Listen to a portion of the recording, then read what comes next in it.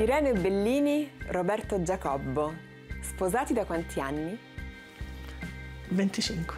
Irene è stata spesso dietro le quinte dei programmi di Roberto. Come è cominciata questa bellissima storia d'amore?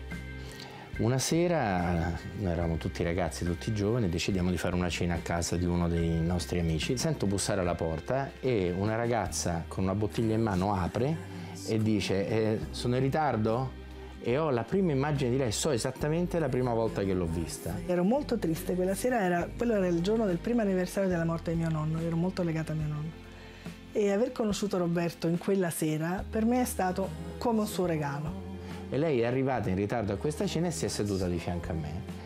E da lì eh, otto mesi di fiori, comunque è stato un fidanzamento lungo. Poi lui ti ha chiesto proprio ufficialmente di sposarlo? Come no? Come l'hai fatto? Eh, l'ho fatto mettendomi di fronte alla porta d'uscita della casa, così non poteva scappare. E io guardavo ovunque e dicevo che bello, però non me l'aspettavo in quel momento, no? Ci sono dei momenti in cui magari ti aspetti qualche cosa, in quel momento non me l'aspettavo. E che cosa hai fatto? Ti sei messo davanti alla porta, ma ti sei messo in ginocchio, ti, gli hai regalato un anello? Queste sono cose nostre. Come no? Noi vogliamo saperlo, anche per dare un po' di idee ai nostri La giovani vita è fatta anche di misteri.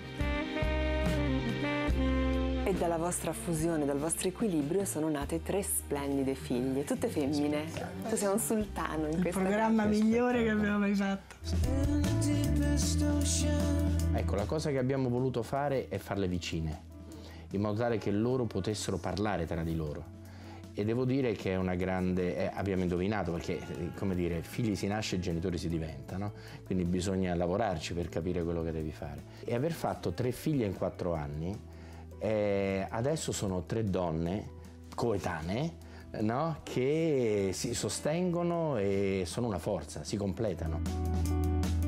Ricordo ancora quel giorno, eravamo al telefono e lei mi dice allora devi prendere il pane, il latte, i pannolini, le, solite cose, eh? Panno- No, ne ho ancora mezzo pacco e Margherita non li mette più. E lì abbiamo capito che era finita un'era. Però Perché- qualcosa ti porti dietro perché noi comunque usiamo sempre i pannetti, quelli umidificati, Ah, sì. quelli Per pulire tutto bambini, ormai, abbiamo che puliscono che qualsiasi cosa. Abbiamo Se capito puliscono che- bene i bambini e non li irritano, possono pulire qualunque Qualsiasi. cosa. Per tutti e tre i parti, tra prima, durante e dopo, ho fatto due mesi di maternità. Cioè il secondo giorno del parto di Giovanna, la seconda figlia, Roberto mi ha riportato il computer in clinica e ho ricominciato a scrivere. Ma non per cattiveria, me l'ha chiesto Perché lo volevo io. Eh.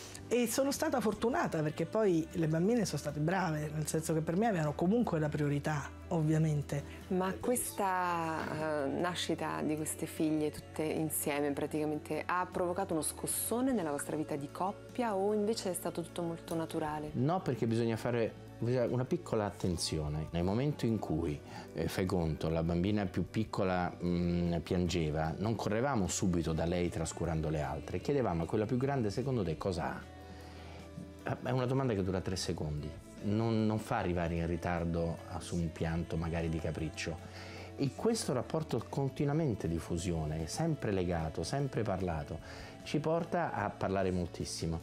E quando noi siamo a tavola la sera, la cena comincia alle 8 ma può finire alle 10 e parlano delle loro cose e poi hanno i tempi giusti e io, e io sto lì e li ascolto e scherziamo. poi scherziamo e parliamo e quindi è una cena come se fossimo al ristorante.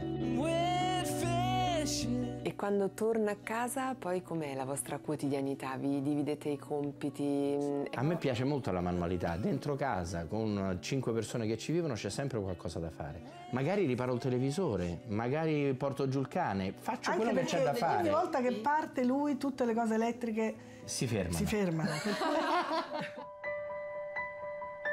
Come hai fatto ad essere comunque un padre presente? Grazie a lei. Ti faccio un esempio. Eh, Margherita si innamorava a scuola e si innamora dell'epica perché c'era un libro a fumetti che raccontava le gesta dell'Odissea, dell'Iliade. Arriva a casa e dice mamma, oggi ho trovato un libro bellissimo, ho scoperto l'epica. Lei cosa fa? La Margherita stava a casa, va a comprare di nascosto questo libro, lo impacchetta, io ero in Australia.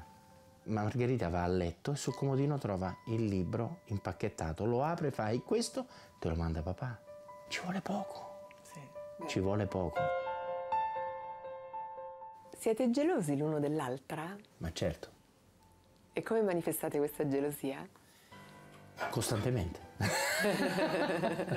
Con l'attenzione, ma poi c'è la fiducia. Con Io, tu hai idea di che vita farei io se fossi una di quelle gelosissime? Eh, Roberto ha voglia di tornare a casa appena finisce di girare eh, e questa è la, la conferma migliore che ci sia insomma se hai voglia di stare con te piuttosto che stare in giro così insomma qualcosa vorrà dire no? Un consiglio che dareste a due giovani fidanzati che hanno l'intenzione di sposarsi? se non ridete insieme Se non ridete insieme non funziona. non funziona E parlatevi, parlatevi anche delle cose stupide. Quando i bambini piccoli si corre il rischio di parlare solo e sempre dei bambini. Invece devi avere la forza con tre bambini piccoli di dire come stai. Non come stanno le bambine, ah, sono hanno mangiato, come stai tu? Cosa hai fatto oggi? Dieci minuti. Ricordarsi che senza quella coppia tutto il resto non ci sarebbe stato.